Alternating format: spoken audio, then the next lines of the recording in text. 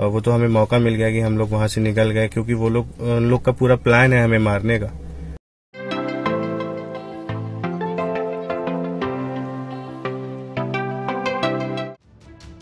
बरेली के भीतरी भरटोल विधानसभा से बीजेपी विधायक राजेश मिश्रा की बेटी ने दलित युवक से शादी के बाद अपनी जान का खतरा बताया है। उसने सोशल मीडिया पर अपने पति अजितेश कुमार के साथ एक वीडियो जारी कर एसएसपी से सुरक्षा की गुहार लगाई है। वीडियो में दोनों बीजेपी विधायक से अपनी जान को खतरा बता रहे हैं। तो वहीं इस मामले में पुलिस महकमे के अधिकारियों ने भी चुप्पी साध रखी है। सबसे पहले आप विधायक की बेटी का वीडियो देखिए। मैं साक्षी और ये मेरे हस्बैंड अभी।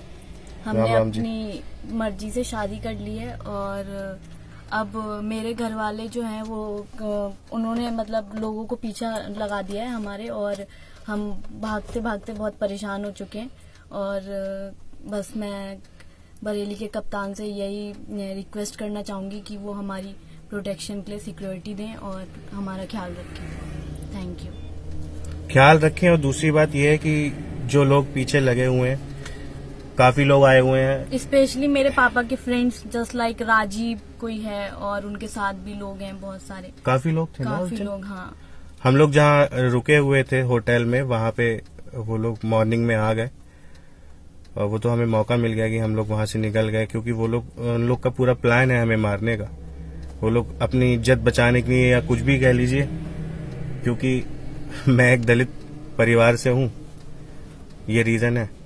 और वो लोग फ़िलहाल हमें मारना चाहते हैं तो हम ये इसलिए मीडिया का सहारा ले रहे हैं मित्रों की हम लोग की जान बच जाए और हम लोग सेफ़ रहे। हाँ। और कोई रीजन नहीं है क्योंकि अगर ये हम वीडियो हाथ आ बनाने गए। तो तो वो पक्का हमें मार देंगे पक्का। मतलब कोई दूसरा ऑप्शन ही नहीं है हमारे पास।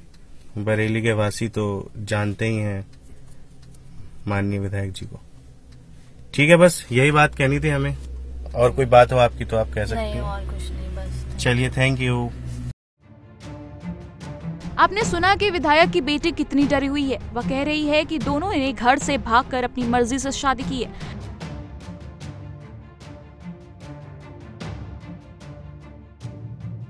लेकिन विधायक के दोस्त राजीव पीछे पड़े हुए हैं। अगर हम विधायक के हाथ लग गए तो मार दिया जाएगा।